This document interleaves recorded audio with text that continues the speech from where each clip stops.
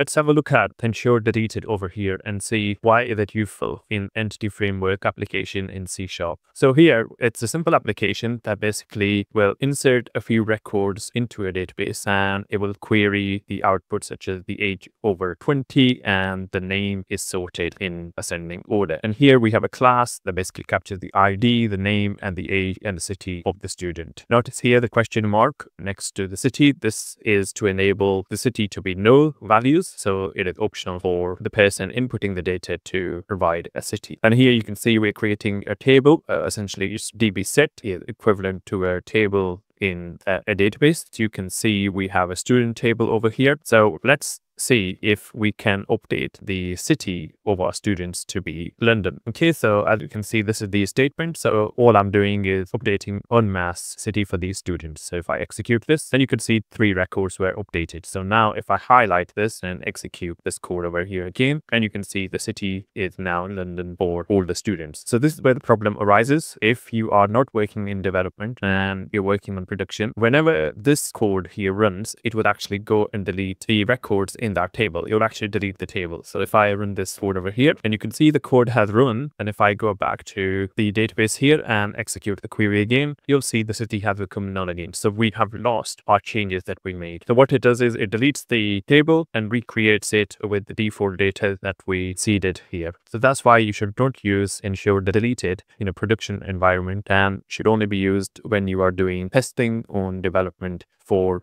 in a very sandbox contained environment because sometimes even on development you do need to be able to keep history because of any test cases that may have been keyed into the database